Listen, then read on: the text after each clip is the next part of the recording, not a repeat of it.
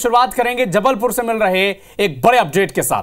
Welcome, hotel में blast हो गया है। होटल के चौथे फ्लोर स्थित किचन में ब्लास्ट हुआ है, जिसमें एक युवती की मौत हो गई है।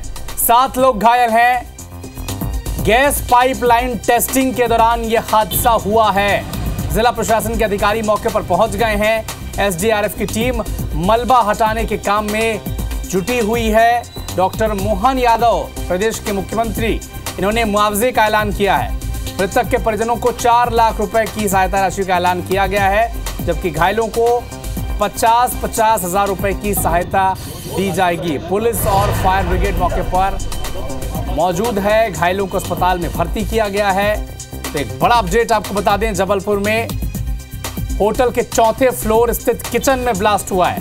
वेलकम होटल, जहाँ पर यह हादसा हुआ है। हमारे सहयोगी अभिषेक शर्मा फ़ोन लाइन पर जुड़े हुए हैं। अभिषेक बताएँ कैसे हुआ यह हादसा?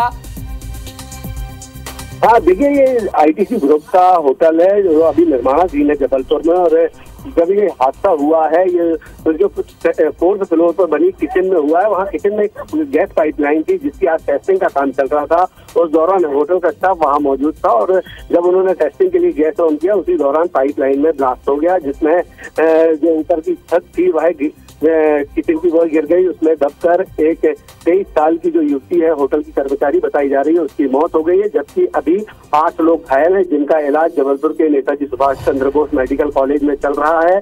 घायलों के लिए मुख्यमंत्री मोहन यादव ने मुआवजे का ऐलान किया है। जो घायल है, उन्हें पचास पचास हज़ार रुपए की आर्थिक सहायता देने का ऐलान किया। साथ ही जो मृतक युवती है, उसके परिजनों को चार लाख रुपए की आर्थिक सहायता देने का ऐलान मुख्यमंत्री मोहन यादव ने किया। उन्होंने घटना पर दुख भी व्यक्त किया और अभी मौके पर जिला प्रशासन के अधिकारी मौजूद हैं। उन्होंने घटना स्थल का मुआयना किया और साथ ही एसडीआरएफ की टीम को मलबा हटाने के आदेश दिए। एसडीआरएफ की टीम मौके पर है वह मलबा हटाने का काम कर रही है और ये घायलों की स्थिति कैसी है और कितने लोग घायल हैं?